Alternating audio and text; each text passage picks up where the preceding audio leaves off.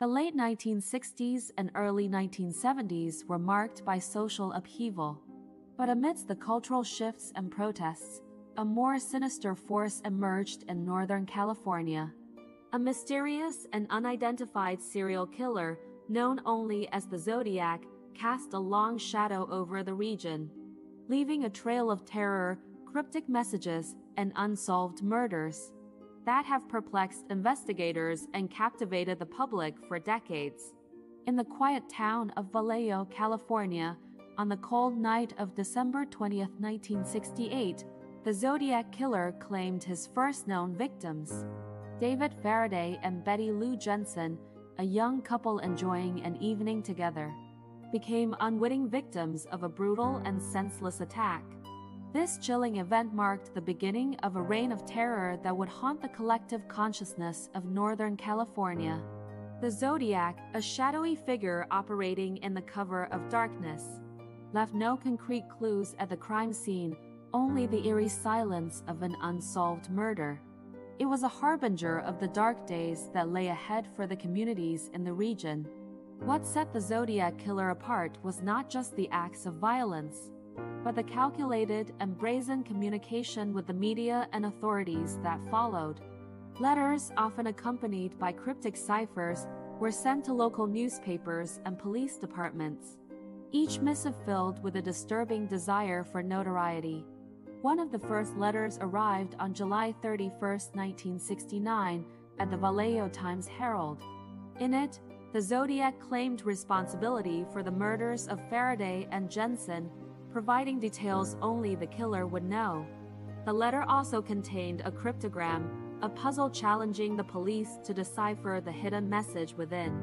This marked the beginning of the mysterious killer's correspondence, a dark dialogue with law enforcement and the public.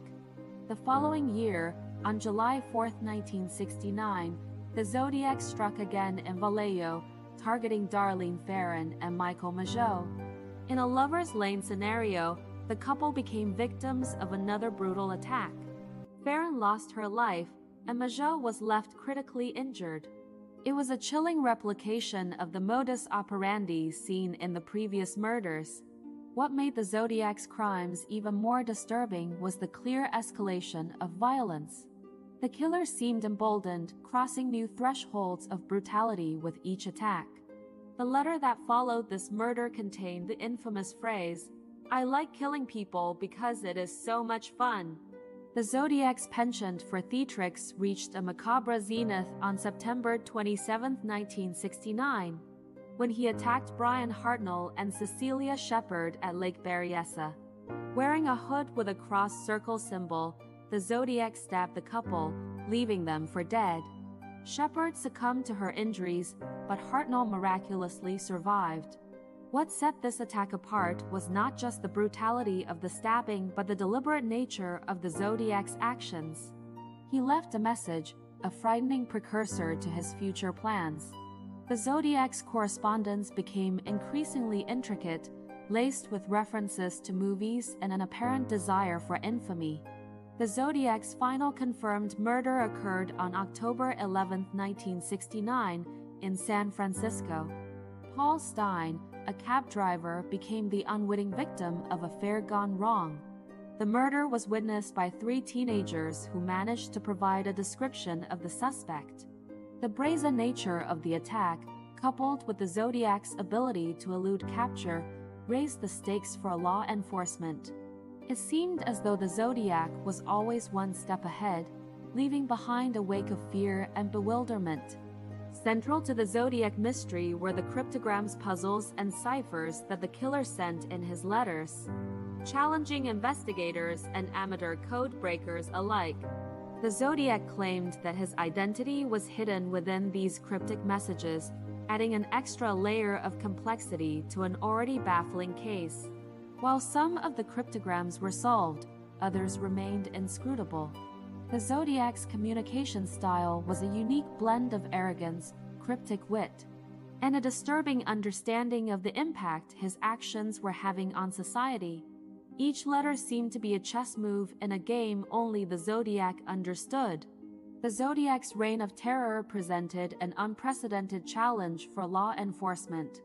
The killer seemed to defy the conventional understanding of criminal behavior, operating on a plane of chaos and unpredictability.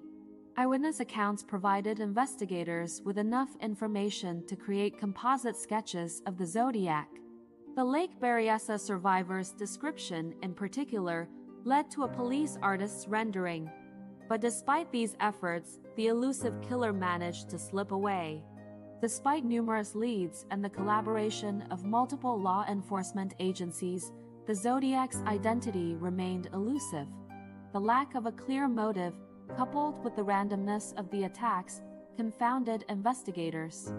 Theories and speculation swirled, but the concrete evidence needed to unmask the Zodiac remained frustratingly out of reach.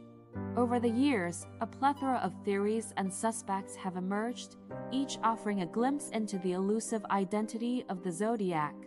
Some theories suggest that the killer may have been a disturbed loner seeking attention, while others explore the possibility of multiple perpetrators or connections to other high profile crimes of the era. One of the most prominent suspects was Arthur Leigh Allen, a Vallejo schoolteacher who had a troubled past. Allen's connection to the case was explored extensively, but despite circumstantial evidence and a thorough investigation, he was never definitively linked to the crimes. Several other names have surfaced over the years, each with its own set of intriguing circumstances. However, none of these leads have provided the smoking gun needed to close the case definitively. The legacy of the Zodiac Killer endures as one of the most captivating and unsettling chapters in true crime history. Books, documentaries, and films have explored the case, contributing to its lasting fascination. The killer's identity remains a subject of intense speculation and amateur sleuthing, with online communities dedicated to unraveling the mystery. Despite advancements in forensic technology, the Zodiac Killer has never been definitively identified or apprehended. The case remains open, haunting the collective memory of those who lived through that era and captivating new generations of true crime enthusiasts. In conclusion, the Zodiac Killer's reign of terror left an indelible mark on the history of criminal investigations. The unsolved nature of the case, the cryptic communications, and the brutality of the murders continue to make the Zodiac Killer a subject of intense public interest and debate. The hope for closure and justice persists, making the Zodiac Killer a haunting figure in the annals of true crime. A phantom menace whose identity remains shrouded in the shadows of uncertainty.